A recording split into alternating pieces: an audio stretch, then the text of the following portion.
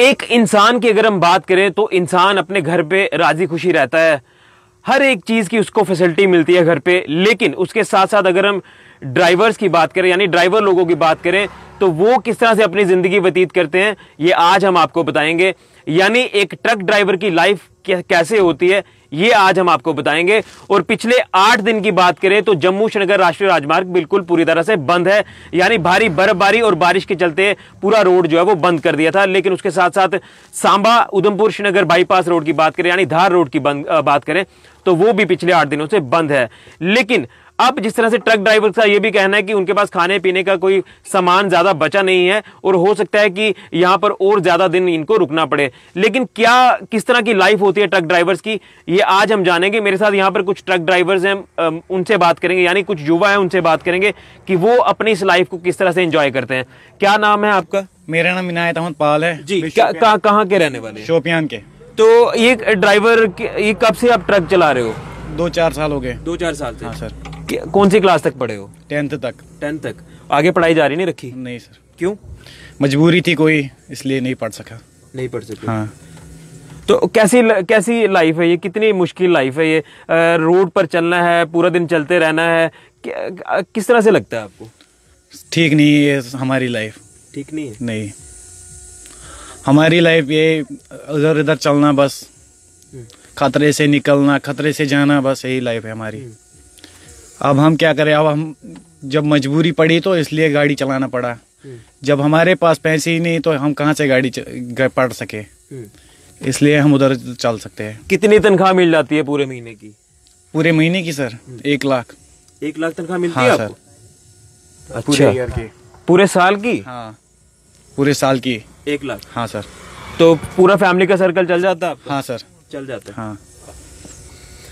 तो अब जिस तरह से मैंने कहा कि घर पर हर एक चीज़ की व्यवस्था हो जाती है लेकिन ट्रक में किस तरह से ये लोग खाना अपना बनाते हैं किस तरह से ये अपना आ, खाने पीने की व्यवस्था करते हैं मैं सबसे पहले आपको कैमरामैन को बोलूँगा कि यहाँ पर ये दिखाएँ कि ये जो छोटी सी किचन जिस तरह से हम पैलेस ऑन व्हील्स कहते हैं तो इसी तरह से ये पैलेस ऑन व्हील्स की ही बात कर रहे हैं यानी ट्रक की बात कर रहे हैं। ट्रक में किस तरह से ये लोग अपना खाने पीने का इंतज़ाम करते हैं ये आपको मैं बता रहा हूँ जिस तरह से कुकर चढ़ा हुआ है इस पर सब्ज़ी ये बना रहे हैं तो यानी इनकी ज़िंदगी की बात करें तो इन्होंने इसी तरह से अपनी ज़िंदगी जीनी है और इस तरह से इस युवा ने कहा कि पिछले चार साल से ये ट्रक चला रहा है लेकिन कोई मजबूरी थी तो उसी वजह से ये इस लाइन में आया है। अदरवाइज़ जिस जिस तरह से इन्होंने कहा कि ये टेंथ तक पढ़े हैं तो कोई मजबूरी थी तो आज उसी वजह से इनको ट्रक चलाने के लिए मजबूरी है। क्या कित, कितनी क्या और क्या कहना चाहते हो कि इस इस लाइफ में और कितनी आपको मुश्किलों का सामना करना पड़ता है? हमारे पास बहुत मुश्किलों का सामना पड़ा है। हम्म। अब हम यही चाहते हैं गवर्नर गवर्नर साहब से हमें उस जगह पे रोके जिस जगह पे हमारे को हर चीज़ मिले। हम्म। वहाँ नहीं रोके जहाँ पे हमें कुछ ना मिले। हम्म। हमें हमारे पास कुछ जो बचा था अब नहीं है हमारे पास। अब हम गवर्नर साहब से ये कहना चाहते हैं हमारे पास और कुछ सामान भेजे और हमारे को टैंकर आप पानी का टैंकर भेजे। जी। अच्छा ये मैं, मैं मेरे को बताओ ये क्या बना क्या रहे हो आप? सब्ज़ी बना रहे हैं कौन सी सब्ज़ी मेरे को बताओगे आप कुकर खोल के बताओगे? हाँ सर। मैं पैन पैन करके कैमरामैन को बोलूँगा दिखाया जाए कि क्या ये सब्ज़ी बना रहे हैं। यानी घर पे जिस तरह से इंसान एक आम इंसान खाना खाता है बड़े आराम से बैठ के लेकिन ट्रक में किस तरह से इतनी सी छोटे से दायरे में गाड़ी भी चलानी है खाना भी बनाना है तो आप मैं दिखाऊँगा आपको कि इसमें बना क्या रहे हैं ये। जी। क्या क्या है ये सब्ज़ी? क्या बनाई गाजर टमाटर और प्याज बना रहे हैं। और इसके साथ? और है मटर। मटर। हाँ सर। तो किस रोटी के साथ खाओगे? हाँ नहीं चावल के साथ। चावल के साथ? हाँ सर। रोटी पसंद नहीं है? नहीं रोटी हम नहीं खाते। बिल्कुल नहीं नहीं। हम हमारे कश्मीर में चावल खाते हैं। चावल खाते हैं। हाँ रोटी नहीं खाते हैं। हम्म। घर में बात होती है रोज घर पे? हाँ वो तो होती है। वहाँ तो बहुत बर्फ़ पड़ा है आज। अच्छा आज बर्फ़ पड़ा हाँ। तो उनको टेंशन होती है घर वालों को कि गाड़ी से गया है तो फंसा है? रास्ते में? नहीं आप क्या टेंशन लेंगे? हमारा तो यही कार है। हम हम और कुछ कर नहीं सकते। हैं यही आपका घर हाँ? हमारा यही घर है। यही घर है? हाँ। और क्या बाकी वाले युवाओं को भी मैसेज देना चाहते हो? यानी जिस तरह से आपने कहा कि मैं इसी में ड्राइवर लाइन में खुश हूँ हाँ। लेकिन मजबूरी की वजह से। हाँ। बाकी को क्या मैसेज दो हम उनको यही चाहते हम उनको यही बोलना चाहते हैं कि वो आप पढ़े और पढ़ के कुछ बने। ये लाइफ सही नहीं है। सही नहीं है। हाँ हाँ मैं अपने फ्रेंड को बोल रहा हूँ ये। हम्म। और दूसरे लोगों को भी। वो पढ़े और अच्छी काम करे। बस। तो जब घर कब कब जाते हो? कभी घर जाने का मौका तो मिलता है कब कब जाते हो? हाँ जब घर जाते हैं फिर ही जब यहाँ से छोड़ेंगे फिर घर ही जाएँगे। फिर कहाँ जाएँगे? फिर कितने कि, कहाँ से अभी कहाँ से आ रहे थे आप? अभी कहाँ से आ रहे थे? दिल्ली से। क्या सामान लेके आ रहे थे? परचून। परचून हाँ सर। तो अब दिक्कतें आ रही हैं आपको यहाँ हाँ बहुत दिक्कतें आ रही है यहाँ पे। आठ दिन रुके हुए हैं यहाँ पे। जी। हाँ सर। क्या अपील करना चाहते हैं एडमिनिस्ट्रेशन से? हम ये अपील करना चाहते हैं कि रोड खुला हो जाए हम निकल जाए घर अपने घर में भी बहुत परेशानियाँ होती है आप क्या करें? हम ये एडमिनिस्ट्रेशन से कह, कहना चाहते हैं कि वो हमारे को छोड़ें हम अपने घर जाए।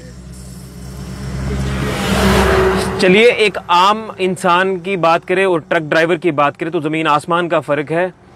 हम घर पे जैसे मैंने पहले भी कहा कि हम घर पर आराम से अपनी ज़िंदगी जो है वो जीते हैं लेकिन एक ट्रक ड्राइवर किस तरह से अपनी ज़िंदगी जीता है ये आज इस लड़के ने बताया। यानी ये भी कहता है कि ट्रक ड्राइवर की जो लाइफ है वो अच्छी नहीं है। कोई मजबूरी थी तो इन्हें अपनी पढ़ाई बीच में छोड़नी पड़ी और ट्रक चलाना पड़ा। लेकिन साथ में इन्होंने युवाओं को बाकी युवाओं को ये भी मैसेज दिया कि आप अच्छे से पढ़ें और अच्छी ज़िंदगी जिए और दूर पहुँचें। ये एक मैसेज इस युवा ने दिया है, लेकिन ये पैलेस ऑन व्हील की जब हम बात करते हैं, ये पैलेस ऑन व्हील ही है, यानी ट्रक ड्राइवर जो चौबीसों घंटे रोड पर चलता है तो उसको यहीं पर सोना है, यहीं पर खाना है, और ये देख सकते हैं आपके किस तरह से इन्होंने एक छोटी सी किचन इसी गाड़ी में बनाई है, और अपनी सब्ज़ी जो तैयार कर रहे हैं, अब कुछ सामान के पास ज़्यादा बचा नहीं है, लेकिन सब्ज़ी बना रहे हैं, और उसके साथ साथ ये चावल अब थोड़े से बनाएँगे तो ये अपना खाना खा के फिर यहीं पे सो जाएँगे। तो कहीं ना कहीं ये लाइफ जो है बड़ी टफ है बड़ी डिफ़िकल्ट है लेकिन ज़िंदगी जीनी है तो हर काम करना पड़ता है लेकिन इस युवा का मैसेज है कि ये लाइफ जो है बड़ी टफ है। क्या मैसेज दोगे? हम यही कहना चाहते हैं अपनी लाइफ में हर कोई काम करना पड़ता है। जी। हर कोई मुश्किल से भी लड़ना पड़ता है और हर अच्छी काम से भी करना पड़ता है। ये मैसेज देना चाहता हूँ मैं दूसरे लोगों को। चलिए बहुत बहुत शुक्रिया। तो ये था युवा जो कश्मीर जा रहा है ट्रक ड्राइवर है, सामान लेके कश्मीर जा रहा है, लेकिन आज पिछले आठ दिनों से सब गाड़ियाँ यहाँ पर रोक दी गई हैं, धार रोड पर, यानी सांबा, उधमपुर, कश्मीर बाईपास रोड पर। भूस्खलन जिस तरह से बड़ा ज़्यादा हुआ है रामबन के इलाके में तो उसी के चलते रोड पूरी तरह से बंद कर दिया गया लेकिन एक ट्रक ड्राइवर्स की लाइफ किस तरह से होती है, ये आज हमने आपको बताया कि किस तरह से वो अपनी ज़िंदगी इस ट्रक में, इस पैलेस ऑन व्हील में गुजारते हैं। तो ये था अभी तक का अपडेट। कैमरामैन राहुल के साथ ऋषि खजूरिया, जेके मीडिया के लिए।